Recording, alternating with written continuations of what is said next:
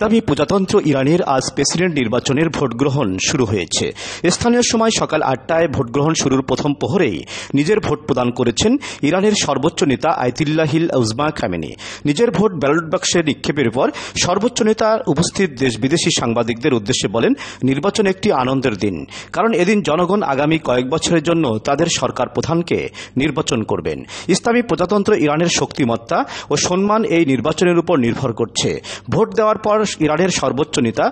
সাংবাদিকদের উদ্দেশ্যে বলেন, সর্বস্তরের জনগণকে ভোট কেন্দ্রগুলোতে উপস্থিত হয়ে তাদের ভোট প্রদান- প্রদানের আহ্বান জানিয়েছি। আমি আশা করব ইরানি জনগণ স্বতঃস্ফূর্তভাবে ভোট দেবে। ভোট প্রদান এমন একটি কাজ যার জন্য কোনো অর্থ খরচ করতে হয় না, কিন্তু এর মাধ্যমে অনেক সুফল পাওয়া যায়। যে কাজে খরচ নেই, কিন্তু অনেক সুফল তা থেকে বিরত থাকা বুদ্ধিমানের কাজ নয়। সকাল আটটায় যে ভোট গ্রহণ শুরু হয়েছে, তা স্বাভাবিক নিয়মেই সন্ধ্যা ছটা পর্যন্ত চলবে। এরপর ভোট কেন্দ্রগুলোতে ভোটার উপস্থিতি থাকা সাপেক্ষে ভোট গ্রহণের সময় বাড়ানো যাবে। বিদেশে যারা ভোট দেবেন, তারাও একই নিয়মের মধ্যে পড়বেন।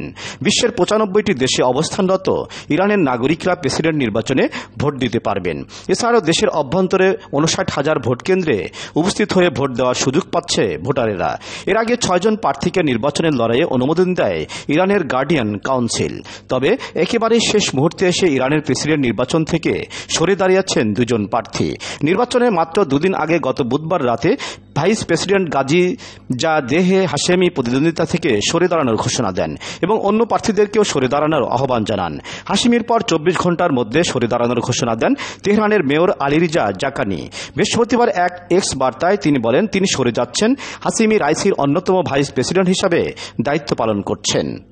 তিনি দুই সালের প্রেসিডেন্ট নির্বাচনে অংশ নিয়েছিলেন এবং দশ লাখেরও কম ভোট পেয়ে সবার পেছনে ছিলেন। দুইজন সরে দাঁড়ানোর প্রার্থী থাকল আর মাত্র চারজন। আজকের নির্বাচনে প্রতিদ্বন্দ্বিতা করছেন চারজন প্রার্থীর মধ্যে। তারা হলেন মাসুদ পেজেকশিয়ান প্রার্থীর কোড বাইশ, মোস্তফা পুর মোহাম্মদী প্রার্থী কোড তেত্রিশ জাইদ জালালি প্রার্থী কোড চল্লিশ এবং মোহাম্মদ বাকের কলিবফ প্রার্থী কোড সাতাত্তর। উল্লেখ্য, ইরানের প্রেসিডেন্ট মোহাম্মদ রাইসি গত উনিশ মে ই উত্তর ইরানের পাহাড়ি দুর্গম এলাকায় হেলিকপ্টার দুর্ঘটনায় বিধ্বস্ত হয়ে নিহত হন।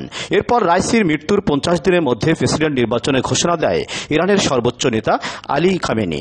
রাইসির উত্তরাধিকারী হিসাবে এই নির্বাচনে আয়তুল্লাহ খামেনির ঘনিষ্ঠ কেউ নির্বাচিত হওয়ার সম্ভাবনা রয়েছে। حتما اون موضوع I promise to put an end to the unjust behavior of the morality police towards our daughters. But our political rivals are asking if he wins, what are you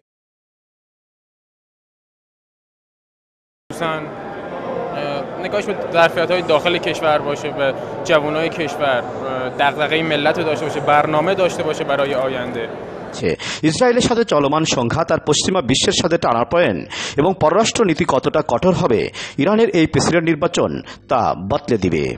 M A Zafar Liton, উত্তর দিগন্ত, news desk.